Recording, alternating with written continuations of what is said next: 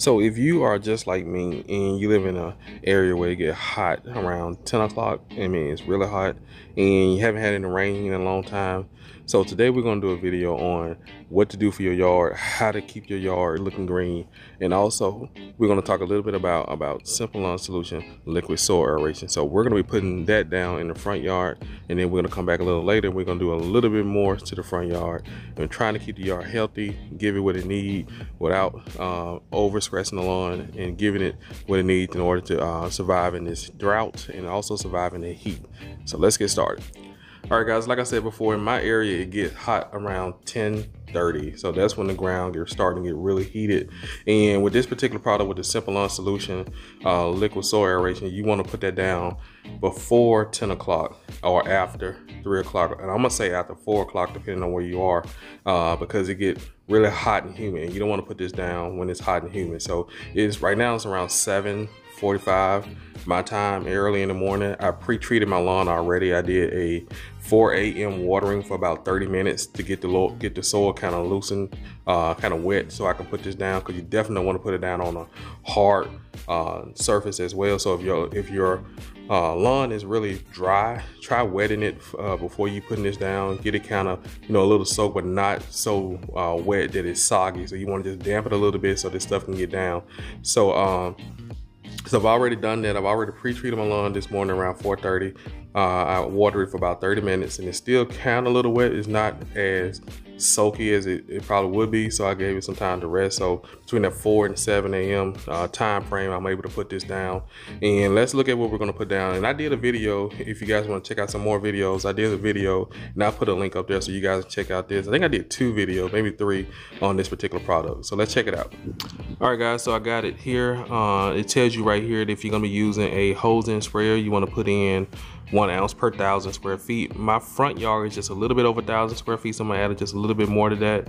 And it also tell you if you're gonna use a smart a pump sprayer, this is what you need to do as well. So it also tell you if you're gonna use the ortho dial, like well, no, it didn't say ortho dial, but if you're gonna use a pump sprayer, set the dial to one. I'm using the ortho dial uh, sprayer. So, and it got some more information on that. And again, if you guys want to check out a more in-depth video, I'm, I got a video I'm going to be posting up there so you guys can check that out. So we want to get this down again before 10 o'clock uh, or after uh, 4 o'clock. Uh, those are my recommendations, and I think it says that somewhere on here as well. But again, um, let's you want to get that down as soon as you can before it get too hot. One other thing, guys, if you're gonna be using the ortho sprayer, make sure you clean it out. As you can see, I've already got mine cleaned out over here. Uh, so you don't wanna mix too many chemicals with this. And we're gonna be adding this right here later on today. Uh, we're not gonna put both of them down right now because uh, we don't want to get the yard too stressed out with the heat.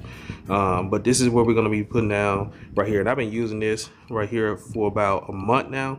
Um, and I've seen some great results from this. Uh, so again, uh, we're gonna put this down. Uh, later on today, we're gonna come back and do the second part of the video.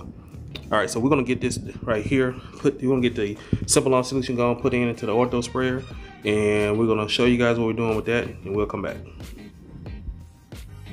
All right, guys. Another one, another thing about this, it says do not use on new seed. You want to wait if you're gonna seed your lawn, you want to wait at least a month. I'm gonna say a month and a half before using this product.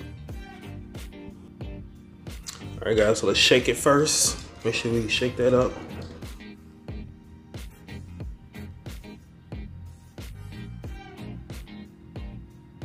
I'm just eyeballing the ounce. I may pour a little bit more and that's okay.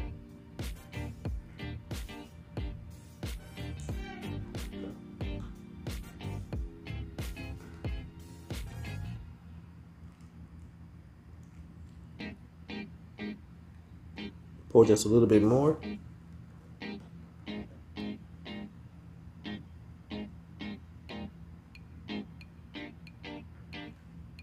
And again, I'm, I'm putting down just a little bit more, and that's fine. I've also got two different type of grass in my yard, and uh, this is my first time applying it this year. So if you want to pour a little bit more, that's fine. Just don't go too crazy with it. You know, just just apply it, eyeball it if you don't have anything to put it down. I have something, I just didn't grab it, being too lazy. But again, um, you can eyeball it. You can put a little bit more than what's recommended, but just don't go too crazy with it. All right, guys, so I added a little bit of water to it just to, you know, so it can break down through the sprayer. So when it comes out, it goes up here, to, you know, it, it all come out and it'll break down evenly. So, and I also got the dial set at one ounce. And another reason why I like these ortho sprayers because you can set the dial. There are probably some other ones out there that you can do that with too, but I just like these. And what you're gonna wanna do is set your sprayer to those bird lips. I call it the bird lips, which is the flat sprayer. Uh, so you wanna do that. So let's get this put down. Another thing guys, make sure you have a good water hose because I've used some water hose in the past and um, you don't have a good water hose it's going to really cause you to have a lot of issues so uh, I put a link to this water hose that I got down at the bottom uh, in the description and I also put a link to the ortho sprayer and put a link to everything else we're putting down in the uh, description below as well so just want to mention that. All right guys so we're getting ready to get started and we're gonna like always we're gonna start with the edges first and we're gonna work our way in the middle. So make sure you set your dial to one ounce as it stated in the bottle and let's get started.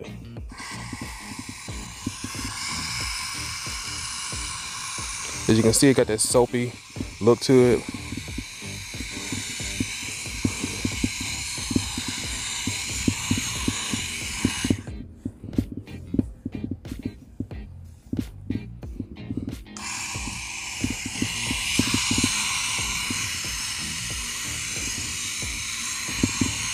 And just remember, don't put this down if you see it in your lawn. You want to wait at least a month.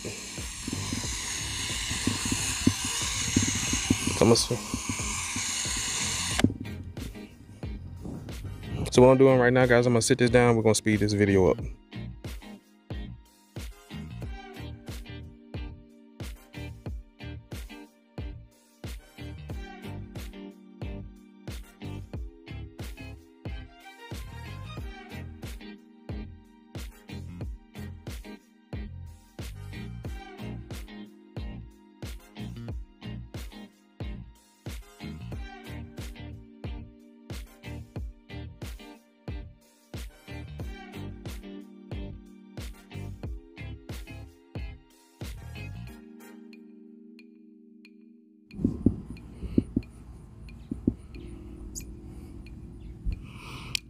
Can y'all see that?